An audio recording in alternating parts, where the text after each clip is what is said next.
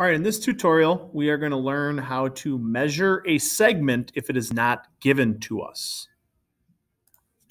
Specifically, notice that we already have some segments drawn, and when I construct a shape or a segment, that on the left side here, it shows you the lengths of certain segments. But sometimes, when you, let's say, find this intersection point, that some segments, the lengths are not shown. So for example, A to E, that segment length is not shown here in terms of the length.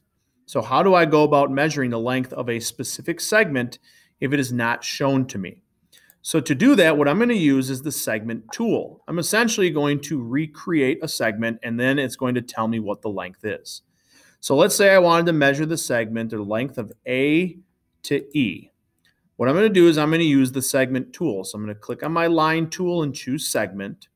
And if I want to know its length, I'm going to click on the two points that I want to know. So A to E. When I do that, you'll notice that it pops up on the bottom. So A to E, that segment would be 3.54 units long.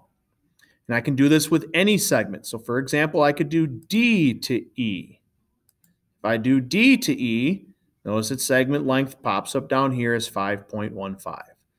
So if a segment length is never given to you, all you have to do is use the segment tool, click on the two desired points that you want to measure to find that segment, and it will tell you the length of that segment that you can then compare.